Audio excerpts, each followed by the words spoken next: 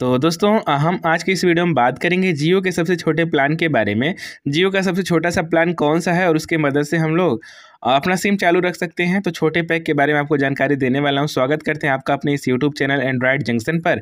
आइए आपको बताते हैं जियो के सबसे छोटे प्लान के बारे में जिसकी मदद से हमारी सिम चालू रहे एस आया जाए और हम लोग उस रिचार्ज को कर पाएँ। तो आइए आपको बताना चाहूँगा कि इनका जो सबसे छोटा प्लान है, जियो का तो यहाँ पर हमने फ़ोन पे आपका मदद लिया है, बिकॉज़ यहाँ पे सारे रिचार्ज प्लान इन्होंने सजो के रखा है। तो हमें आपको बताने में आसानी होगी, ठीक है? आपको समझने में भी आसानी होगी। और हम लोग दो सिम यूज़ करते हैं ना, तभी ये दिक्कत होती है। तो आपको बताता हूँ कि सिम चालू रखने के लिए आप कितने का रिचार्ज कर सकते हैं।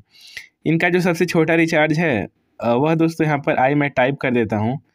वन डबल फाइव जो बंद हो चुका है और इसका अब रेट हो चुका है वन एट सिक्स। ठीक है, देख सकते हैं। एक सौ छियासी का एक प्लान है जिसमें एक जी बी रोज़ डेटा है।